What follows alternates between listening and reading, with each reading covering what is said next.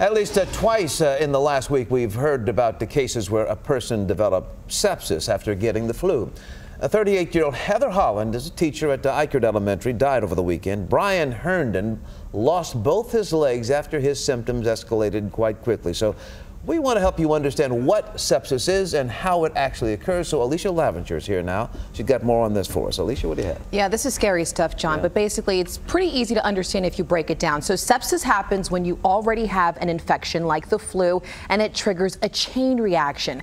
As it gets worse, it compromises the blood flow to your vital organs like your heart or your kidneys, and this can cause organ failure.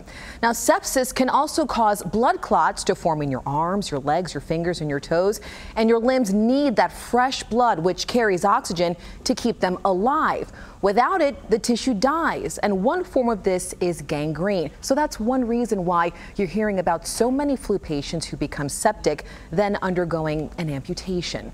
Now, it's tough for the average person to recognize sepsis. There's no one single symptom, but this is what a doctor is looking out for an above or below average body temperature, a high heart rate, shortness of breath, and even confusion or disorientation can be a sign of sepsis.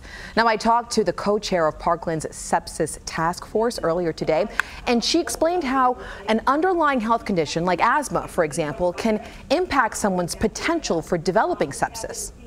So anyone who has an underlying condition like bad diabetes, um, obstructive lung disease from smoking, cancer, um, on medications that suppresses their immune system, they're much more susceptible to becoming septic from um, influenza. However, um, we have seen healthy individuals still have a sepsis response to influenza, and doctors say we've seen more cases of sepsis because the flu is so rampant this year. The Mayo Clinic says most people do recover from mild sepsis, but the mortality rate for septic shock is nearly 50%, and that's sepsis when it's most severe. So if you or someone you know already has the flu and you suspect sepsis, you want to get that person to the hospital immediately. John?